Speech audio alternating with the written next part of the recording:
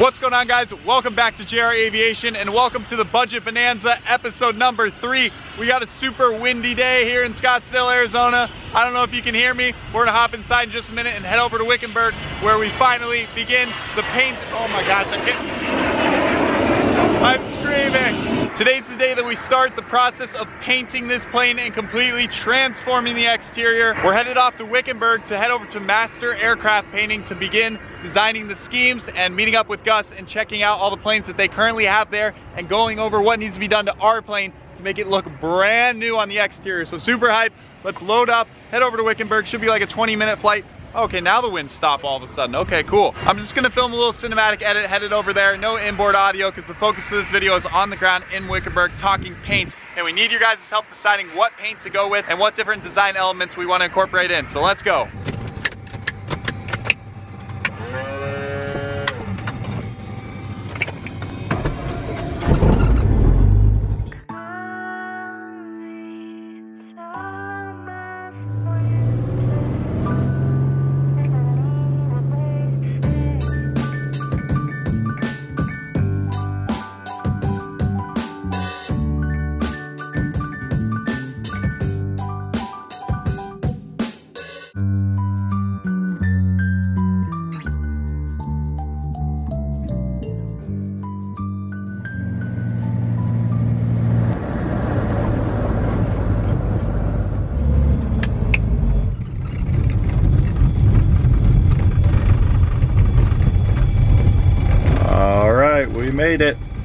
There's Owen's ride home. We'll show you all around that plane in a minute.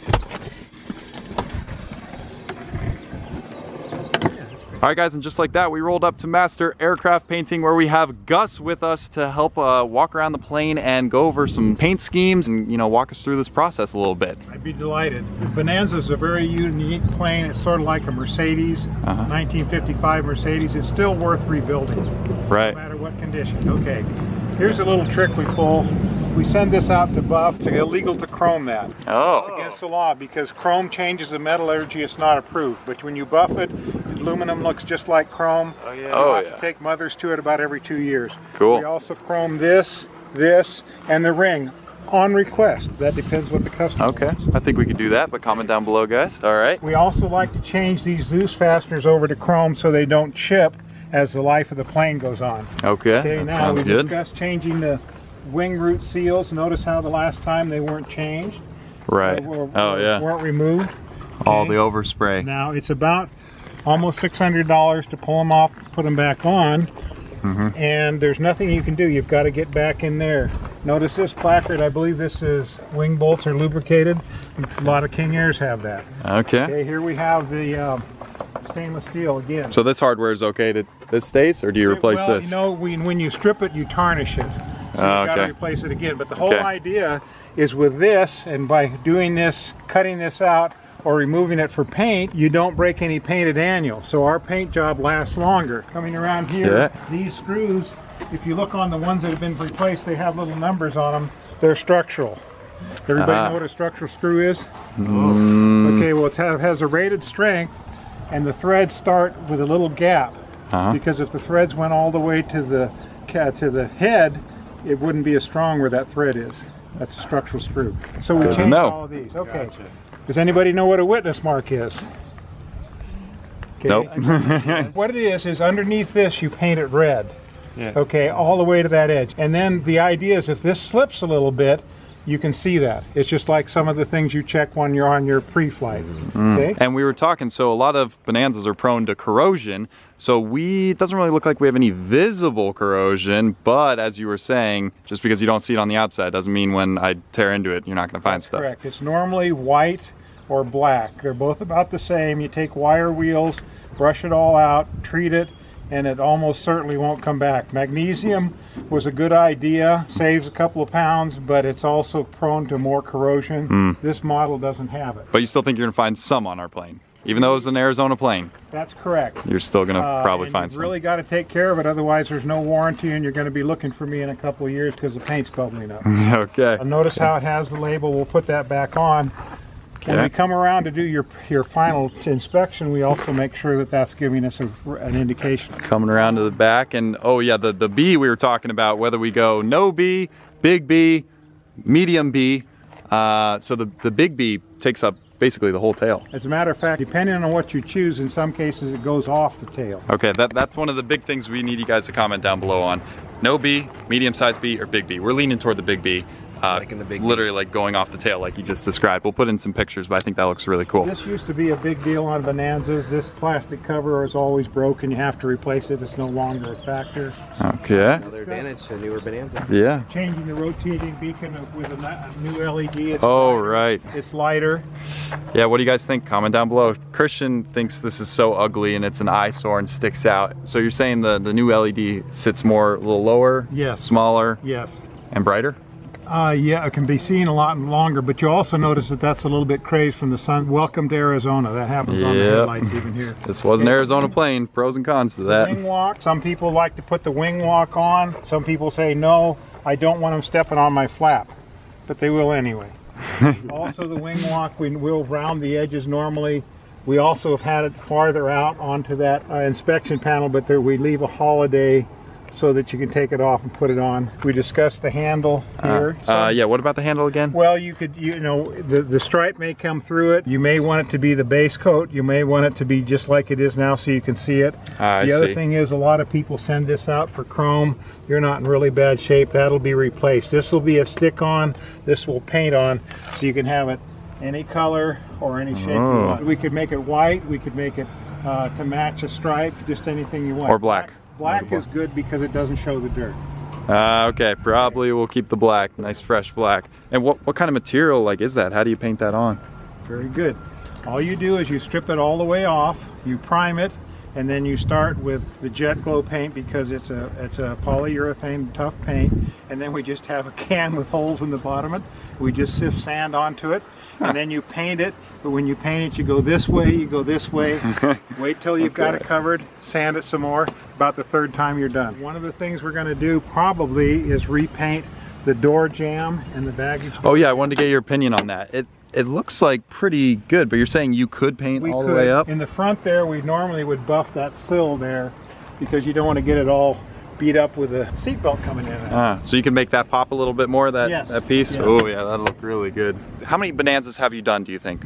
How many planes in general? Hundreds of planes? Okay, this year, between this year and next, we will have over a thousand planes done at this location. What? A Well, but it's, it's 50 planes a, um, a year. Wow, okay, and then how many would you say are Bonanzas, uh, roughly? over a hundred. Easily over Wow. 100. Okay, so how does this stack up with the 100 planes you've seen? You know, body-wise, condition-wise, overall? How do you From what I it? can see, there's very little body work at this time. However, Okay. we strip it and it's been through a fence. It's not in the logbook.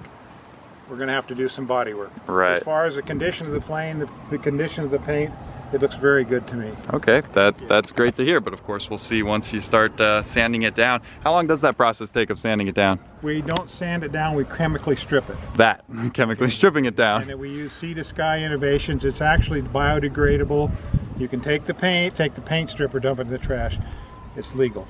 Okay. strip the plane and you go to dump those paint flakes, they may exceed the limits on chromium, usually from the primer. Mm, okay. Okay. So how long does that process take? The whole process to paint the plane from start to finish is six weeks. Okay, that's not bad at all. Yeah. Now, one of the best parts of this is I've had several planes in my lifetime. We respect the fact that this is somebody's baby Mhm. and they want to see it. This is their pride and joy. And so we send them pictures every couple of days. There's so many nuances. You know, do you want the, you talked about wingtip tanks. Oh, the right, the tip Designed to tanks. Come off here and then have a gap so it'll slide back on no matter how much it goes on. It won't be a problem. Right. Okay, great. Yeah, we would love update pictures as many as you want to send our way. That'll be great because then we can share with our viewers and constantly keep them updated with the process. Yeah, fortunate enough we're local here to Wickenburg, Arizona, so we will definitely be checking back in for some future update videos. What's the furthest somebody's come? Africa.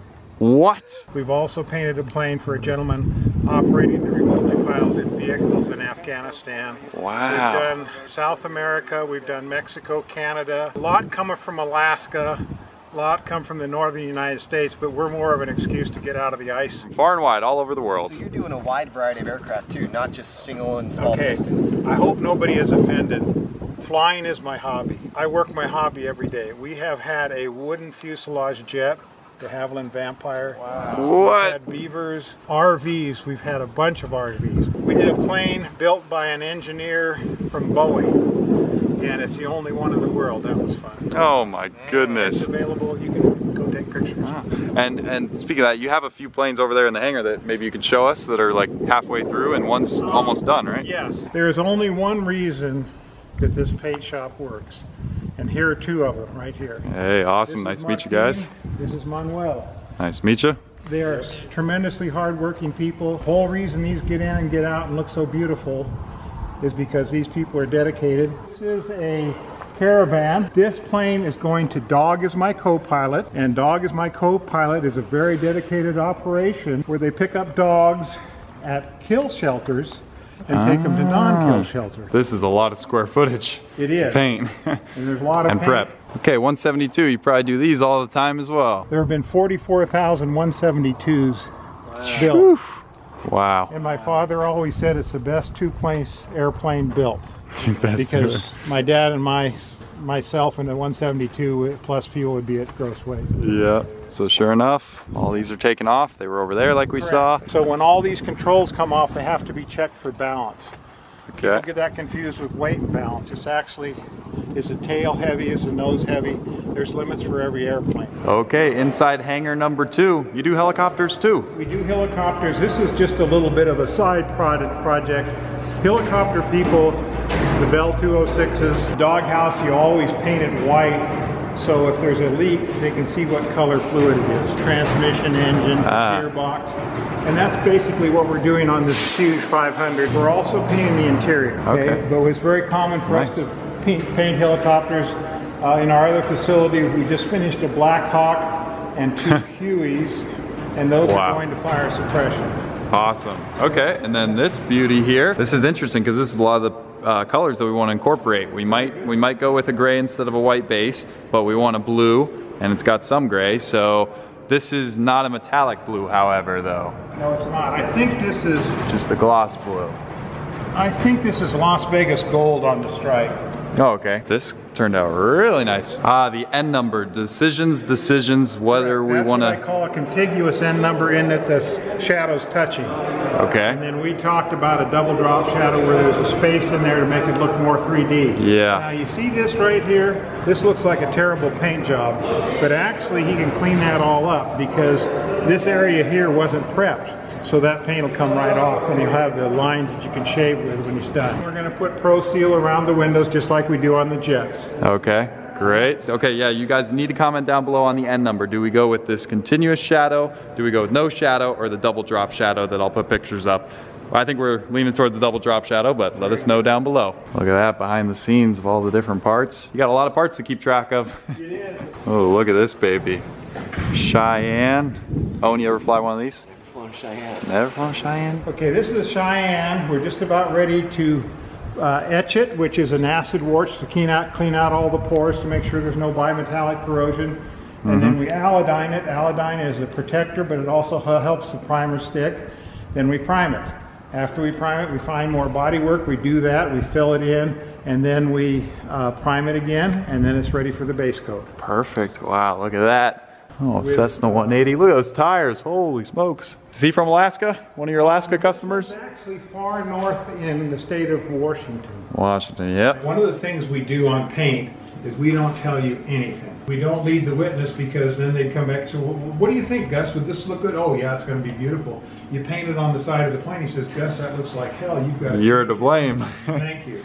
Um, and the other thing is, you, you don't want to tell them what they want. You want the customer to decide for themselves. Ooh, okay, decisions on us, Christian. all All up. right, so you gave us this booklet with all the different paint options. Correct. So uh, we are leaning toward that gray base. What percentage of planes do you think do a white base versus gray base? Non-whites, somewhere in the less than 2% variety. Oh wow, okay, so just about everybody does white. So that's Yes. why we want to be different and maybe do a gray, but you have like 12 different grays to pick from. So we're thinking one of these because we want a non-metallic base coat because metallic adds you know, a bit of money and, and we're totally Well, cool but with there's just, also, remember we discussed the maintenance. Oh, So if you yeah. scratch something on the bottom of the fuselage, we may have to paint major portions Ooh. of the fuselage Okay. to match. You're right, solid color it is. So how do we know which gray to pick? We're, we're between. That's dealer's choice. okay, guys, you clearly see all the names here. So comment down below which name of gray you think would look good as a base coat. We're thinking something a little lighter gray. It'd be cool to do like a Nardo gray, but that's just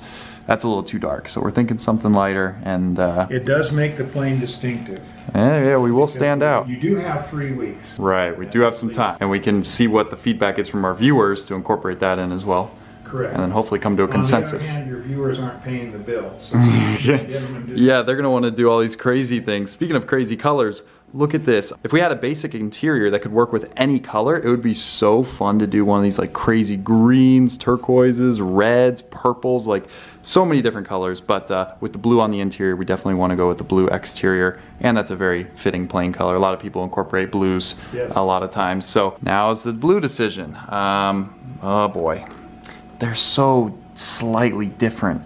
Okay, there you guys go. Once again, comment down below. We're thinking a shade somewhere in the middle. Not too bright like on our other Bonanza with the accents because our interior side panels are like this level of blue. And then of course there's like navy blue, but that looks darn near black until you get it in the light. So we want to go with something in this range. I like going off of colors again. I miss the ocean in Phoenix, Arizona. or like a dark blue mist. One of these two guys. What what do you guys think about that for uh, all the blue overlays? Here, let's get in the sun a little bit. Okay, now So there you guys go. Comment down below what blue. We're gonna narrow it down what exactly we want. And then the black, if we go with some black overlays, we're thinking a metallic black. There's just these, oh wait, no, that's that's some of the pearls. Here are the blacks.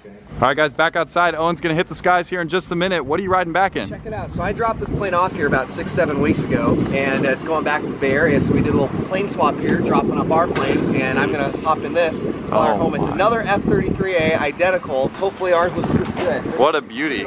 And speaking about colors on planes, so this is a dark, almost like a navy blue. So when you get close, it's really pretty with the metallic sparkle. Gorgeous color, but it's a little too dark for our plane. So we're gonna go with a lighter blue, but this at least gets you on the right track of what the blue might look like with either the white or of course we're gonna go with the gray base coat. That's what we're leaning toward. But uh, beautiful end product and it's getting a full interior done and uh, avionics. Oh, and by the way, don't worry, that's just a temporary N number. That whole graphic is gonna be peeled off when his new N number gets approved. So that's that's not gonna be blue. That's just an overlay for the time being. Check it out, out with the old, in with the new. Hopefully in about, uh, you know, six or eight weeks, we'll be going from that to that taxiing out of here.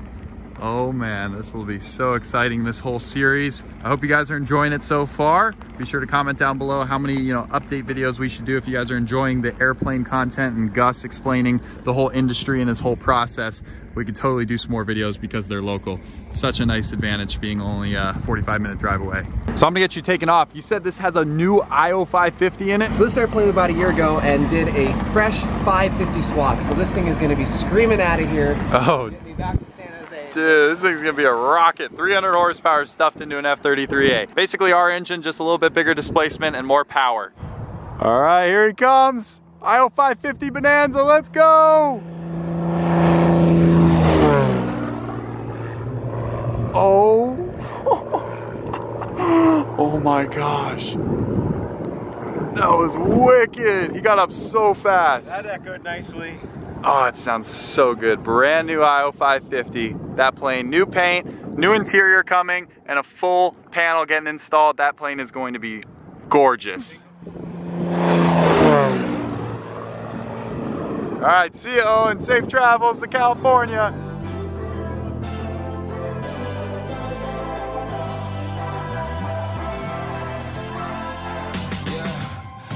Never ever find the right words. And there's no way this is real life. There's no telling. All right, look who came to town just for our airplane. Citation Max, christening the new bird. Yeah, like and subscribe. There we go.